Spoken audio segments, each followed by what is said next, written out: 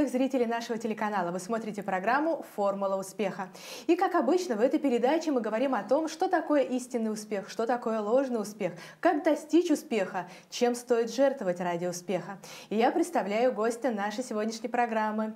Он приехал к нам из Москвы. Это лидер молодежной команды прославления Церкви Слова Жизни Карен Карагян. Здравствуйте, Карен. Здравствуйте. Все люди по-разному воспринимают, что такое успех. Если мы выйдем mm. на улицу и начнем спрашивать, то разные люди ответят э, то, что им ближе. Для кого-то это может быть встретить настоящую любовь в жизни. Для кого-то это воспитать достойных э, детей. Для кого-то это большие деньги. Для кого-то это успех быть медийной личностью, чтобы тебя все узнавали, mm-hmm. чтобы вот эти вот розы славы, они сыпались э, к твоим ногам и никаких шипов от роз. Вот для вас что mm-hmm. такое успех? Эм, я думаю, в первую очередь человек, он смотрит на свои какие-то внутренние потребности, именно что сейчас, что мне сейчас нужно, и это было бы для меня успехом. Вот. Конкретно сейчас, тоже буду субъективным, для меня успех — это внутреннее состояние радости и мира при любых обстоятельствах. Вот. Чтобы, что бы происходило снаружи, там, успех — это не успех, там, финансовые сложности или благословения, ты испытывал мир внутри. Вот. И, ну, другими словами, наверное, чтобы ты был изнутри больше, чем снаружи. Вот как-то так для меня сейчас это. А это зависит от того, на своем ли человек месте? Да, конечно. Понятное дело, что если человек э, на своем месте, он в любом случае будет все равно испытывать какие-то проблемы и трудности. Да, да, ну тут такой сложный вопрос, наверное. Ну, каждый человек сам определяет на своем ли он месте. А, я знаю много людей, которые вот сегодня на своем месте, завтра уже это место, оно не мое. Вот. А, я думаю, это исходит, конечно, из каких-то твоих личных взаимоотношений с Богом, из личных откровений, а, из какого-то такого понимания твоей идентичности и вот какой-то внутренней работы. Где бы ты ни оказался, ты, ты понимаешь, куда ты идешь, и зачем все это нужно. Вот. Но да. Ну, свое место это такое, действительно такой сложный вопрос. Вот, то есть вы считаете, что, например, если человек достиг в какой-то сфере каких-то высот, то он все равно должен быть всегда быть готовым к тому, что жизнь так может сложиться, что он полностью поменяет сферу своей деятельности, и это нормально. Да, да, да, вполне себе. Лично я для себя где-то года три назад я начал себе много, много вопросов задавать.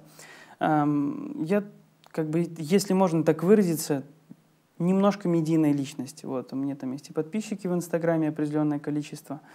И ну, я постоянно появляюсь на сцене или где-то еще. Вот, и есть ну, в наших кругах определенное внимание, медийность.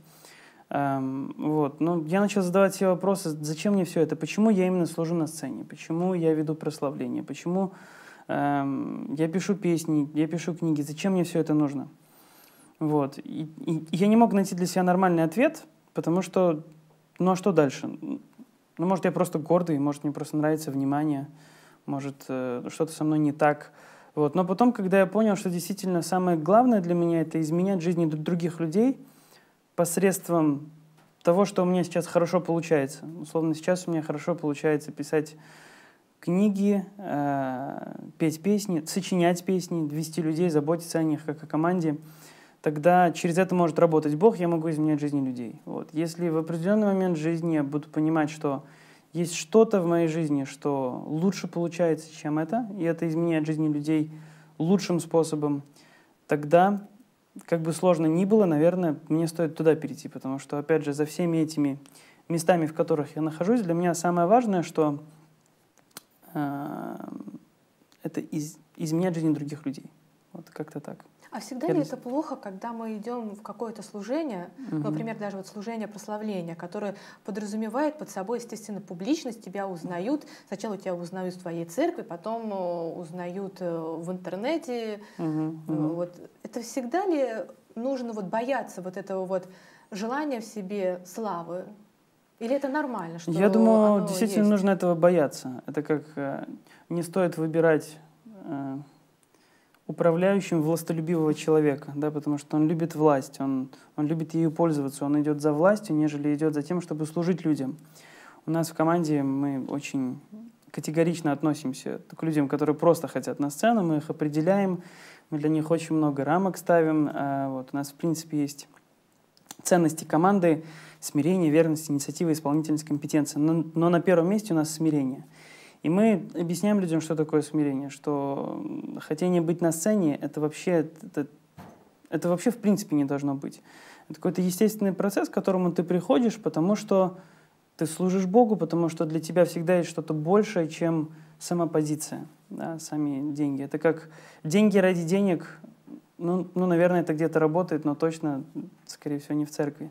Обычно ты э, хочешь заработать деньги, чтобы что-то сделать на них. Вот, и, соответственно, здесь, наверное, такой же принцип работает, что прийти в команду ради того, чтобы выйти на сцену, ради того, чтобы тебя узнавали и видели, оно... Ну, таких людей видно. И на самом деле вот в последнее время, даже не в последнее время, наверное, как Иисус пришел на землю, он начал провозглашать, что смирение красивее, чем гордость. Э, вот в последнее время это э, людям неприятно смотреть на людей, которые вот, вот прям наслаждаются своей позицией, что они такие, да, конечно, это я. Вы что, не узнали меня? Конечно, это вот. Поэтому, конечно, мы ищем э, более смиренных людей. И, и, на мой взгляд, это не очень хорошо, если человек бежит к сцене и бежит к вниманию. Ну, всегда, кажется, такая получается иногда вилка. Или, может быть, я не права. Угу. Э, смотришь, человек вроде бы очень хороший, но как-то даров в нем мало. А в другой может быть и гордый, может быть скандальный человек, но очень одаренный. Угу. Ну, как говорят, что хороший человек это не профессия. Угу. А, ну, на мой взгляд, а, есть хорошие и талантливые, их надо найти, но до них, как команде, нужно сам, самим дорасти. А, что это значит? Вот к нам часто приходят действительно талантливые, классные люди. Я явно чувствую, что вот пару-тройку раз он сыграет, но это, наоборот, разрушит команду. Вот. И его научить смирению намного сложнее, чем классного человека, который, возможно, чего-то не умеет, научить игре на инструменте или тому, чтобы он научился. Потому что если у человека есть стойкость, смирение, выносливость, то он научится петь, научится вести, он сможет ну, вкладываться в это – и обретет э, ну, определенные навыки. При этом, если у человека проблемы с характером, это очень сложно решить. Ну, потому что характер решает проблему эм, таланта, но талант не решает проблему характера. Как-то так скорее. Вот. А кем вы хотели стать в детстве? Помышляли ли вы о том, что вы будете петь на сцене? Э, я, честно говоря, об этом не думал. Э, с самого детства меня мама всегда вытаскивала на сцену. Я там с полутора-двух лет читал стишки на сцене, потом танцевал, играл в сценках. Что только не делал. Вот, наверное, все, что возможно представить, я делал именно почему-то на сцене. Но мне мама вот говорит, ты у меня такой талантливый, ты у меня такой классный, ты у меня музыкант, ты у меня суперский. Вот. И благодаря, конечно, ее тому, что она в меня вкладывала, как-то вот так получилось, что я на сцене. Но я привык быть на сцене, но я, я наверное, никогда туда не рвался. Вот особо так, чтобы прям я должен быть именно там. Но у меня где-то внутри всегда было понимание, что я хочу служить большому количеству людей. Для меня всегда вот массовость, масштабность — это для меня такой, такой вдохновляющий фактор. А роль родителей, значит, она очень велика, на ваш взгляд? Да, очень велика. Вот. Мама в основном, конечно. Она просто она невероятный вклад сделала, то, что она всегда каждый год где-то выступали, что-то делали, ездили по детским домам. А, там, там, я, я, я был всегда главным героем всех сценок. Там, про то, про все, там, то ежиком, то там, беспризорником, то еще кем-то. Вот, потом там танцевал, пел. И, конечно, то, что сейчас у меня есть какая-то база определенная, то, что я не так сильно стесняюсь на сцене, вот как другие, это, конечно, благодаря маме. И вот тому, что родители вложили. У меня есть одна знакомая, которая против того, чтобы родители вот поступали таким образом и с раннего возраста детей своих приводили к сценическим каким-то ролям. Она uh-huh. говорит, ребенок маленький, ему все хлопают, потому что он миленький, он хорошенький. И он вот, вот этот вот вирус славы, он себя впитывает, и он уже, и для него это как наркотик такой, естественно. Он уже без этого не может, а взрослый он вырастет, непонятно, вот будет ли он на сцене, будут ли ему также аплодировать. Угу. И вот, говорит, у человека сломленная жизнь. Вполне возможно. Эм... Или у вашей мамы был какой-то секрет, как правильно поступать с сыном? Или это такое чудо Божье? Вообще, люди разные. Это вот первое, что нужно понять, что люди разные. Кто-то, кто, кто-то, например, может смотреть ужастики и смеяться, а у кого-то это травма на три месяца, да, там, да, он потом спать не может. То же самое, мне кажется, и со сценой. Ты не совсем понимаешь, да, как он будет на это реагировать. Может быть, он станет таким э, любящим внимание, таким звездой, а может быть, он просто, ну, как бы у него как с гуся вода вот течет, это слава. Ну ок. Вот для меня это... Ну, лично для меня, наверное, это никогда не было каким-то великим фактором, потому что я скорее не люблю внимание, чем люблю.